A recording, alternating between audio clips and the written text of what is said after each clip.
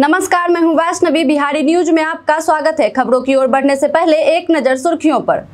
बिहार में assistant professor के लिए 4,108 पदों पर बम्पर भर्ती।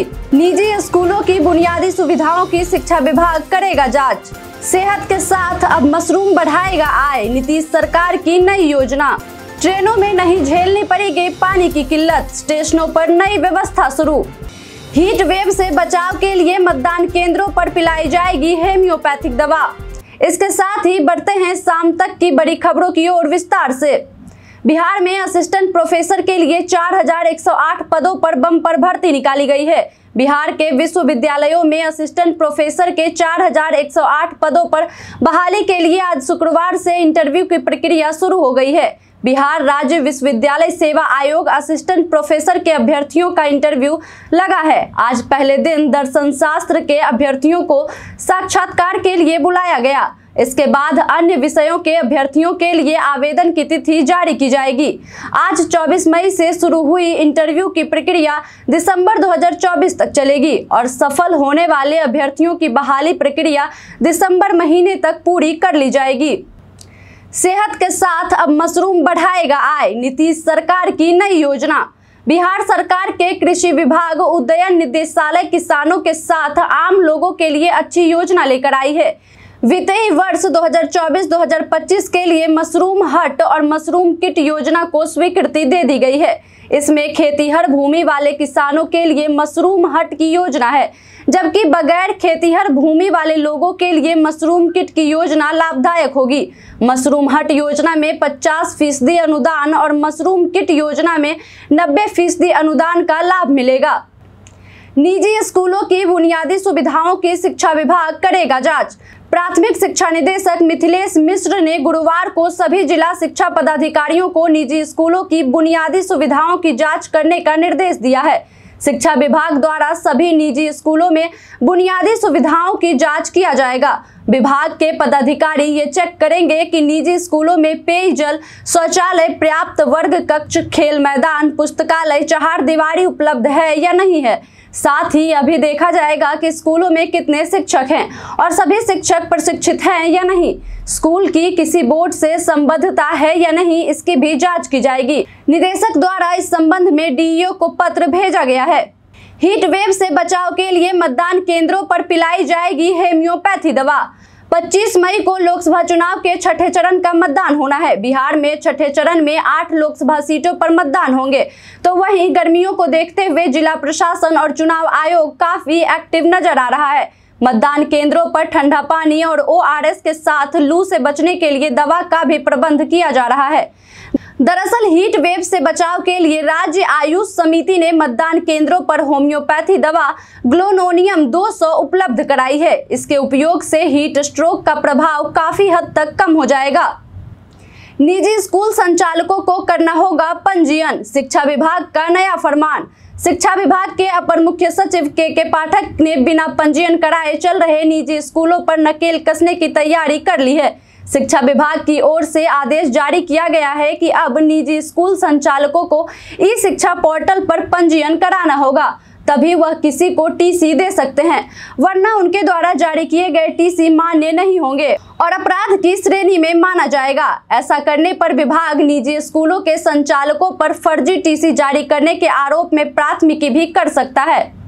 ट्रेनों में नहीं झेलनी पड़ेगी पानी की किल्लत, स्टेशनों पर नई व्यवस्था शुरू भारतीय रेलवे द्वारा बिहार के 12 प्रमुख स्टेशनों पर खास इंतज़ाम किया जा रहा है। पूर्व मध्य रेलवे के मुख्य जनसंपर्क अधिकारी सरस्वती चंद्र के अनुसार, अब ट्रेनों के कोचों में जल्द पानी भरने के लिए स्टेशनों पर त्वरित जल प्रणाली का प्रयोग किया जा रहा है। जिससे स्टेशनों पर महज 10 मिनट के ठहराव होने पर ट्रेनों में पानी भर दिया जाएगा। इस प्रणाली की डिस्चार्ज दर अधिकतम 200 लीटर पर मिनट है, जिससे आवश्यकता अनुसार पानी भरा जा सकता है और ट्रेन में सफ़र के दौरान शौचालयों में लोगों को पानी की समस्या नहीं झेलनी पड़ेगी। छठे चरण के चुनाव को लेकर बिहार में सख्त प्रशासन छठे चरण के चुनाव को लेकर बिहार में सख्त हुआ प्रशासन। लोकसभा चुनाव 2024 के छठे चरण का मतदान 25 मई को होना है। इसे लेकर इंडो नेपाल सीमा को नेपाल गृह मंत्रालय के आदेशानुसार नेपाल सरकार द्वारा बहत्तर घंटों के लिए सील कर दिया गया है। वाल्मीकि नगर में इंडो नेपाल सीमा 48 घंटे के लिए बंद रहेगा। तो साथ ही बगहा में वोटिंग को लेकर पुलिस की सीमा क्षेत्र में गश्ती भी बढ़ा दी गई है। बता दें कि इस बीच नेपाल से आकर भारत में वोट करने वाले व्यक्तियों को प्रवेश की इजाज़त दी जाएगी। मुजफ्फरपुर में 112 बोतल विदेशी शराब बरामद। मुजफ्फरपुर प्लेटफॉर्म एक के क्रू लॉबी के पास रेल पुलिस द्वारा एक युवक को बहत्तर बोतल विदेशी शराब के साथ गिरफ़्तार किया गया है।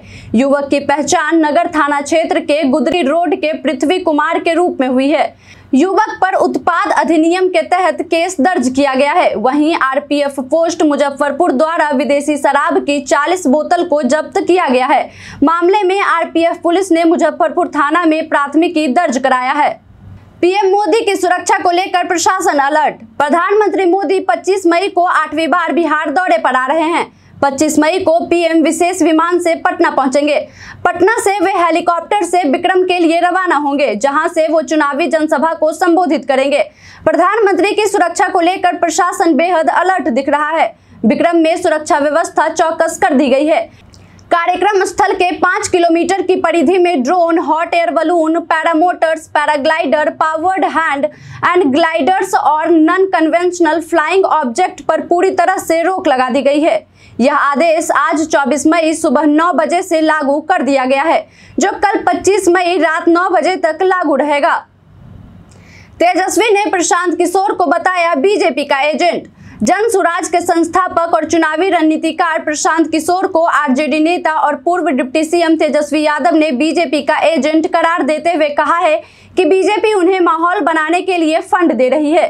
उन्होंने कहा है कि प्रशांत किशोर बीजेपी की मानसिकता वाले लोग हैं। तेजस्वी यादव ने उस वीडियो का भी ज़िक्र किया है, जिसमें नीतीश कुमार ने कहा था कि अमित शाह के कहने पर उन्होंने प्रशांत किशोर को पार्टी का राष्ट्रीय उपाध्यक्ष नियुक्त किया था। उन्होंने आगे कहा कि प्रशांत किशोर अपने जिला अध्यक्ष को सैलरी पर रखते हैं, जो विश्व की सबसे अमीर पार्टी भाजपा भी नहीं करती। पता नहीं उनके पास इतना पैसा कहाँ से आता है। एम्प्लॉयमेंट वॉर पर नीतीश ने किया तेजस्वी पर पलटवार गुरुवार को बिहार के सीएम नीतीश कुमार ने बक्सर और रोहतास में एनडीए प्रत्याशियों के पक्ष में आयोजित जनसभा को संबोधित करते हुए कहा कि भाजपा के साथ रहने पर राज्य का तेज़ी से विकास हुआ है।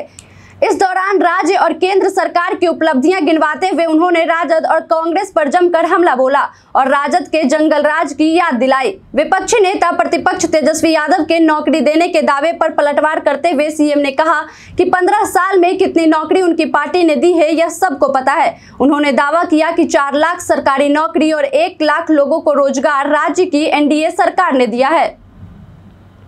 आचार संहिता के उल्लंघन पर बीएसपी प्रत्याशी गिरफ़्तार। गोपालगंज ज़िले के कुचायकोट थाना पुलिस ने आदर्श आचार संहिता के उल्लंघन के मामले में बसपा उम्मीदवार सुजीत राम को गिरफ़्तार कर लिया है।